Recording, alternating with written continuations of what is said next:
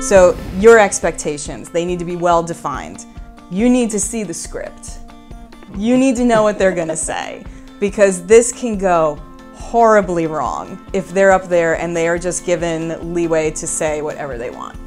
It's and just in case, it doesn't hurt for you to have a backup. So I will tell you that there have been at least 12 mothers over the last few years who have messaged me, contacted me, and had me attend a ceremony as an emergency backup. Really? Where I just hang out in the back, I could guest, and I just sit there in case this friend really screws this up. Now, did you ever have to go up there and rescue somebody? No, they've all been fine, Yeah, but yeah. it's, you know, mom's state of mind so that she can enjoy the wedding. Me Right, right. sitting there just in case makes her feel more confident.